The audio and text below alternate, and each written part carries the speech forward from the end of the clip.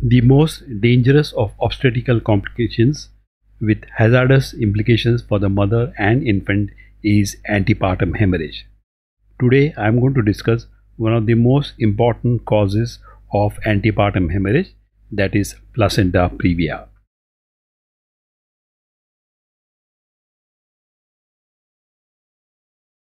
First, some basics.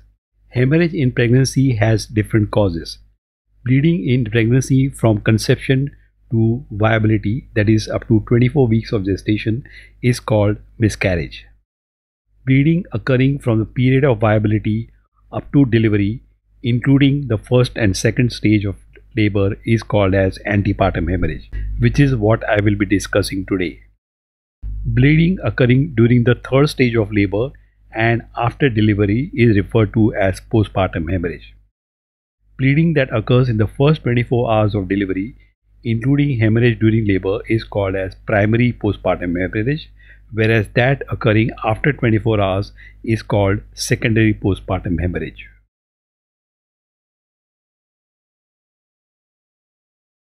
Antepartum hemorrhage is defined as hemorrhage from the genital tract occurring after the fetus has reached viability, that is 24 28 weeks, but before birth of the baby, which includes first and second stage hemorrhage. The incidence of antepartum hemorrhage is approximately 3% of all hospital deliveries. Causes of antepartum hemorrhage are divided into following categories. Placental causes are placenta previa, which accounts for 35% of cases, and abruptio placentae that account for another 35%. The extraplacental causes are varicosity of vaginal veins, cervical erosion, cervical polyp, and carcinoma of cervix. These four causes are also referred to as local causes of bleeding. Besides this, antepartum hemorrhage has miscellaneous causes such as rupture of marginal sinus, vasa previa, circumvallate placenta, excessive show, rupture of uterus, and coagulopathies. Despite all these causes, in small percentage of cases, the cause is undetermined.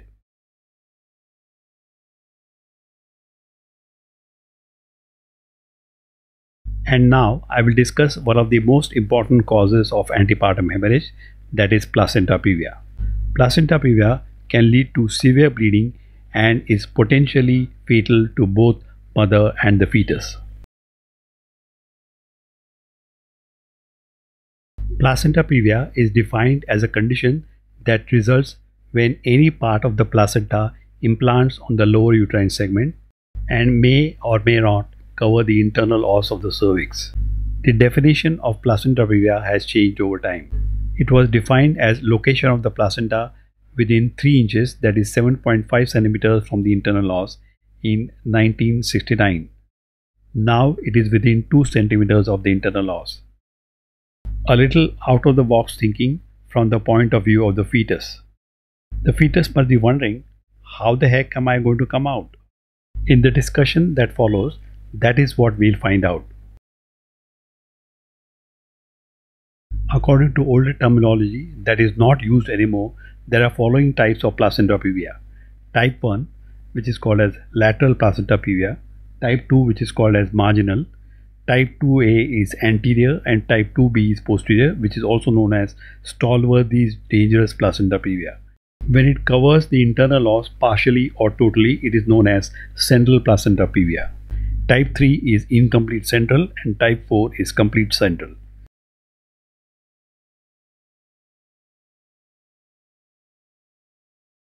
The terms lateral and marginal are no longer used as they refer to information gathered on digital vaginal examination which should be avoided and is no longer needed given the superiority of ultrasound diagnosis. Modern ultrasound based classification of placenta previa is as follows. Low lying placenta, that is placental edge, is less than 20 or according to some 30 millimeters from the internal os, but not covering the internal os. Placenta partially covering the internal os and placenta totally covering the internal os. Incidence of placenta previa varies from 0.5 to 3.5%. The overall incidence of placenta previa is about 4 per thousand births. In India, it is higher, that is 5 out of every 1000 births. An interesting fact is that the incidence of placenta previa decreases as gestational age advances. The incidence is 20% at 20 weeks of gestation and around 0.5% at term. The risk of placenta previa after cesarean section is higher at 1%. Risk factors for placenta previa are previous placenta previa is an independent risk factor for recurrence which occurs in 4 to 8% of subsequent pregnancies. Previous cesarean delivery. The risk increases with an increasing number of cesarean deliveries. The risk is higher with pre-labor cesarean delivery than with intrapartum cesarean delivery. Multiple pregnancies. Other independent risk factors are advanced maternal age, multiparity, smoking, prior medical termination of pregnancy, previous uterine surgical procedure, and for some strange reason, male fetus. Why does the placenta implant on the lower uterine segment? The exact etiopathogenesis of placenta previa is unknown. One hypothesis is that areas of suboptimally vascularized decidua resulting from previous surgery or multiple pregnancies promote implantation of trophoblast on lower uterine segment or unidirectional growth of trophoblast towards lower uterine cavity. Another hypothesis is that a particularly large placental surface area, such as in multiple gestation, increases the probability that the placenta will encroach upon the lower uterine segment or cervical os. Approximately 90% of placenta previas identified on ultrasound examination before 20 weeks of gestation resolve before delivery. Two theories have been proposed to account for this phenomenon. The lower uterine segment lengthens from 5 mm at 20 weeks of gestation to more than 50 mm at term. This progressive development of the lower uterine segment, especially in the second and third trimester of pregnancy, relocates the stationary lower edge of the placenta away from the internal os. This is the so-called placental migration theory.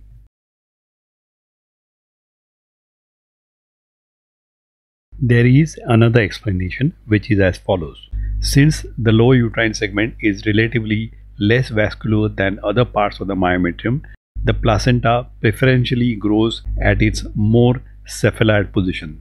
This leads to a progressive unidirectional growth of trophoblastic tissue towards the fundus, resulting in an upward migration of the placenta away from the cervix. This phenomenon has been termed trophotropism.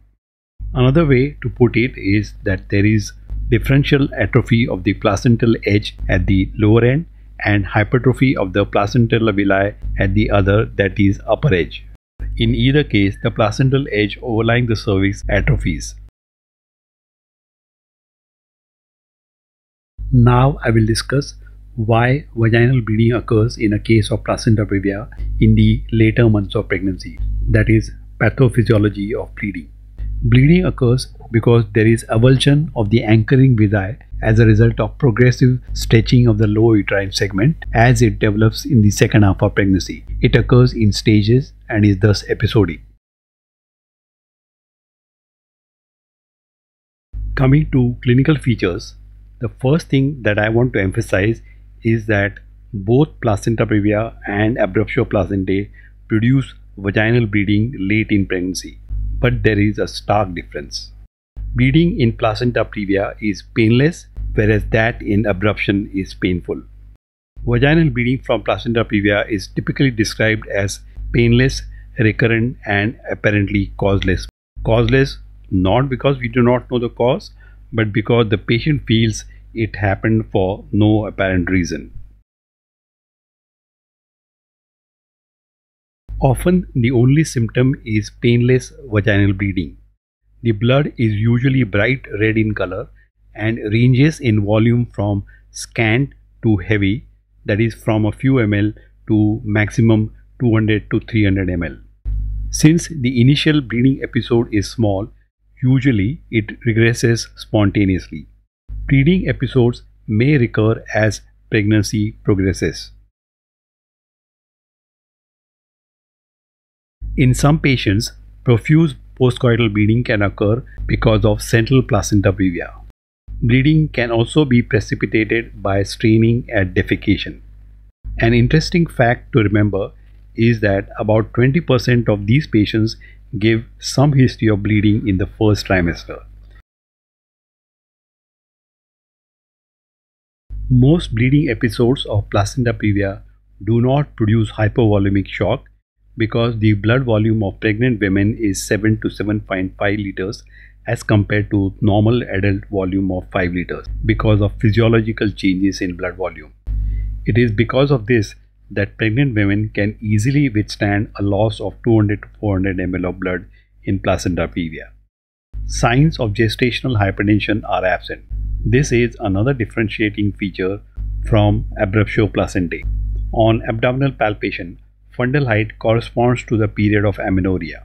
Uterus is soft, relaxed, fetal parts are felt easily. In cephalic presentation, the head is high floating because the low lying placenta prevents engagement of head. Malpresentations like oblique lie, transverse lie, breech are more common. That is, they are seen in about 30% of cases. It is important to keep in mind that pervaginal examination is contraindicated if this condition is suspected because in case of central placenta previa, it can provoke torrential vaginal bleeding. In cases of marginal placenta previa, where the placenta is implanted on the posterior wall of the uterus, which is known as Stallworthy's type 2b placenta, during perabdominal palpation, when one pushes the fetal head into the pelvis, the fetal heart sounds become irregular and become normal as soon as the pressure on the head is released. This is called positive Stallworthy sign. This happens because the central thickened portion of the placenta gets compressed between the sacral promontory and the head. Type 2b placenta also prevents engagement of head at term.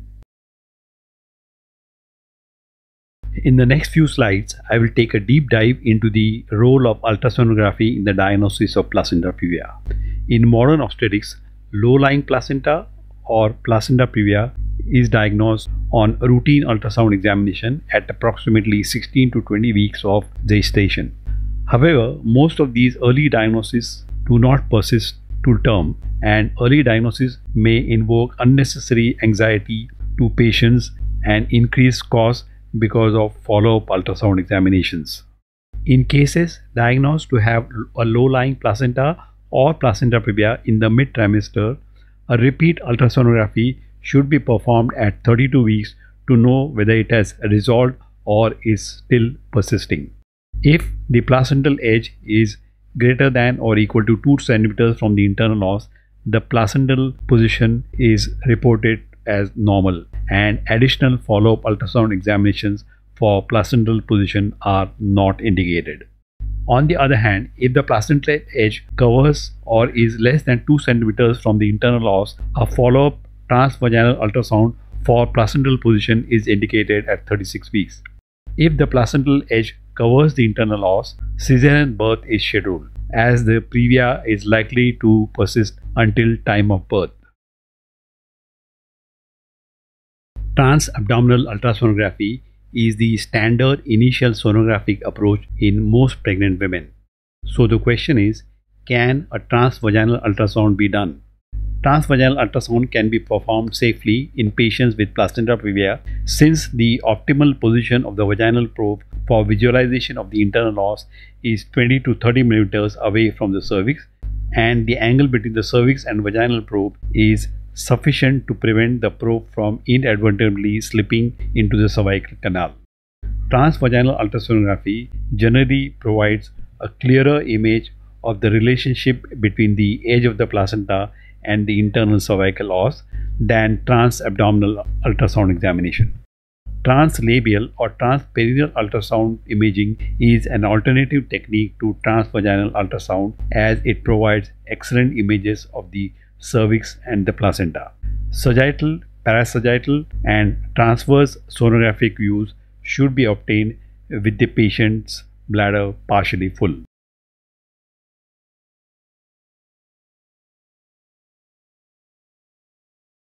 Now let's see some actual cases. These two pictures illustrate the difference in relationship between a transabdominal and transvaginal sonography for the diagnosis of placenta previa. The picture on the right is a transvaginal ultrasound examination.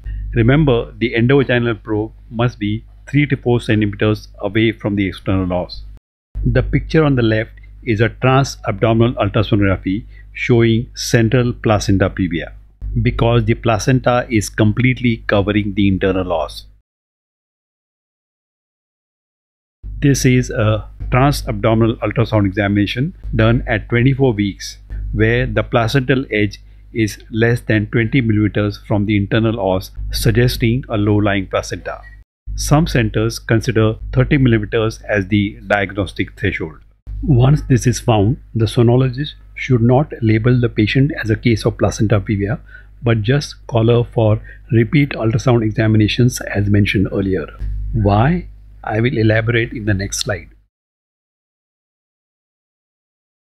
Approximately 90% of placenta previas identified on ultrasound examination before 20 weeks of gestation resolve before delivery. So the question is, can we predict which cases will persist as placenta previa? Findings that suggest that a placenta will persist until delivery as previa include extension of the placenta over the internal os by more than 25 millimeters and posterior placenta previa. The more the placenta extends over the internal os, the more likely it is to persist until delivery. Although available data are insufficient to make precise predictions, pooled data suggests that at 18 to 24 weeks of gestation, when the placenta extends less than 14 millimeters over the internal os, the probability of placenta previa at delivery is near zero. If it is greater than or equal to 14 millimeters but less than 25 millimeters over the internal os, the probability of placenta previa at delivery is approximately 20%.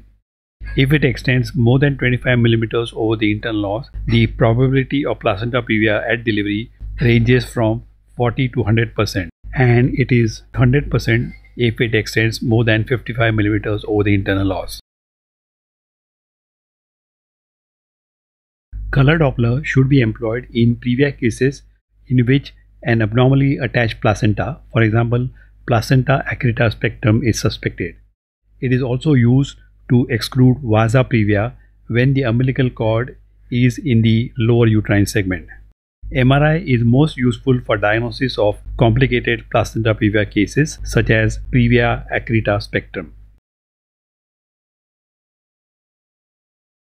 Since the patient is bleeding, other laboratory investigations that may be required are complete blood count, especially platelet count, blood group RH typing and cross matching, coagulation profile, including bleeding time, clotting time, prothrombin time, partial thromboplastin time, INR, and fibrin degradation products.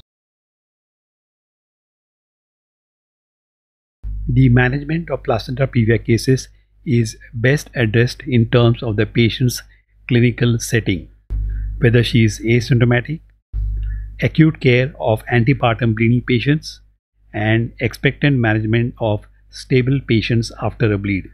I will discuss them one by one.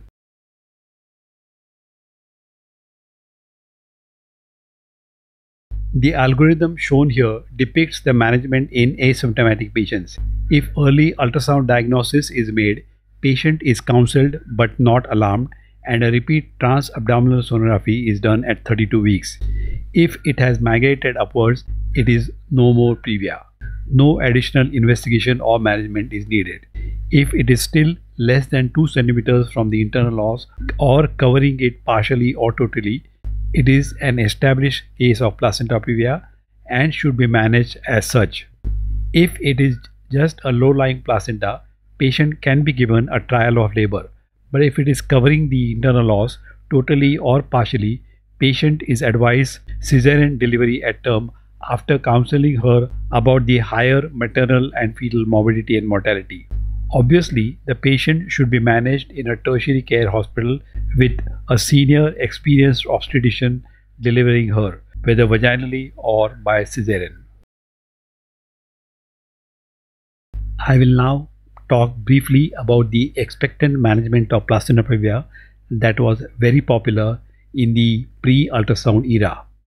It is still asked in postgraduate examinations. It is known as the expectant treatment of Johnson and Macafee who first described it. Prerequisites for expectant management are initial bout less than 600 ml, patient should not be in labor, fetus should be alive, fetal and maternal condition should not be in immediate jeopardy. Protocol is as follows. Blood should be grouped and cross-matched every 3 days. Complete bed rest. Sedatives. Treat blood loss adequately with intravenous fluid or if required blood transfusion. Laxatives to facilitate bowel movement. Hematinics and vitamins should be continued. Calcium supplement in high doses if massive blood transfusion has been given. Administer a course of corticosteroids 48 hours before a planned cesarean delivery, which is scheduled at less than 37 weeks of gestation to facilitate fetal lung maturity. Patients should be monitored closely in the hospital. Monitor pulse, blood pressure, fetal heart sounds, blood loss, that is, number of pads change per day, hemoglobin every 3 to 4 days. 3 days after bleeding has stopped, do a gentle per speculum examination to rule out any local causes of bleeding. Of course, an ultrasound should be done to confirm the diagnosis if it has not been done earlier. Ambulation may be allowed after bleeding has stopped. It is preferable to keep her hospitalized till 37 weeks of gestation. Expectant line of treatment of Johnson and Macafee should be discontinued if another severe bout occurs or if patient goes in labor. Otherwise, it is continued until 37 weeks. Various interventions have been proposed to reduce the risk of bleeding. There is consensus that digital cervical examination should be avoided. It is clear from anecdotal experience that palpation of placenta previa through a partially dilated cervix can result in severe hemorrhage. Advise patients with placenta previa after 20 weeks of gestation to avoid any sexual activity that may lead to orgasm. The rationale is that this activity, especially if orgasm occurs, may be associated with transient uterine contractions, which in turn may provoke bleeding. Additionally, there is a concern that vaginal intercourse of putting any object deep into the vagina might cause direct trauma to the previa, resulting in bleeding. The patient is also advised to avoid moderate or strenuous exercise, that is, heavy lifting, for example, more than approximately 20 pounds, or standing for prolonged periods of time, for example, more than 4 hours. Indications for delivery are severe and persistent vaginal bleeding, such that maternal hemodynamic stability cannot be achieved or maintained, significant vaginal bleeding after 34 plus 0 weeks of gestation or when patient goes into active labor or if the baby dies. Since most cases of placenta previa are delivered by cesarean in modern obstetrics, I will discuss it in great details. First, preparation. Make 2 to 4 units of packed blood cells available. Preoperative or intraoperative sonographic placental localization is useful. Senior experienced obstetrician must perform the cesarean delivery. The surgeon should try to avoid disrupting the placenta when entering the uterus. If the placenta is incised, hemorrhage from vessels can result in significant maternal anemia. Therefore, the fetus should be delivered rapidly and the cord promptly clamped. If the placenta is in an anterolateral location, a vertical incision can be made in the lower uterine segment on the opposite anterolateral side of the placenta. If the placenta wraps around the cervix from the anterior to posterior lower uterine segment in the midline, a transverse or a vertical incision above it may be possible, although a vertical incision often results in extension into the upper uterine segment. Now I will turn my attention to placenta previa, especially when it is on the anterior wall. In this situation, access the membranes by insinuating fingers between the placenta and uterine wall till you reach the membranes, which are then ruptured to access the fetus, shown by blue arrow. Or cut through the placenta quickly, deliver the baby and cut the cord immediately. Before closing the uterus, check for any active bleeding from the placental bed. Suture them with underrunning sutures.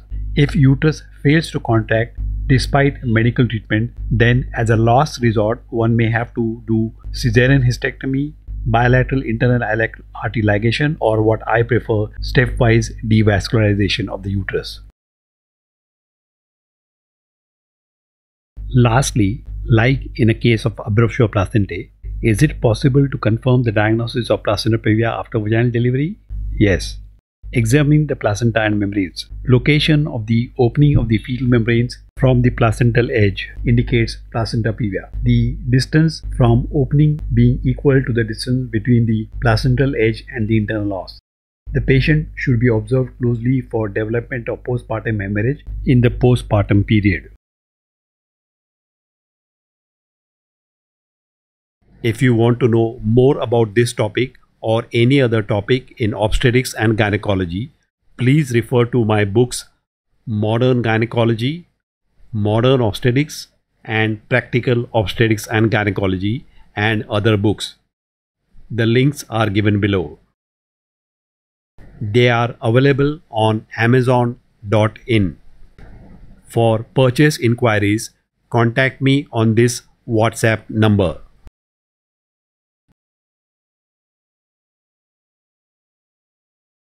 I have also published two question answer books which are particularly useful for exam going students.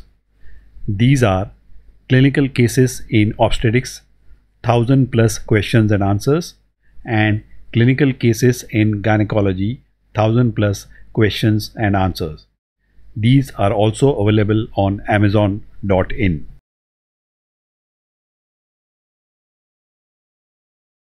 You can also follow me on other social media platforms like Facebook and Instagram. The links are given here. If you enjoyed this video, hit the like button, share it with your friends and also subscribe to my channel for more videos like this. Thank you for watching.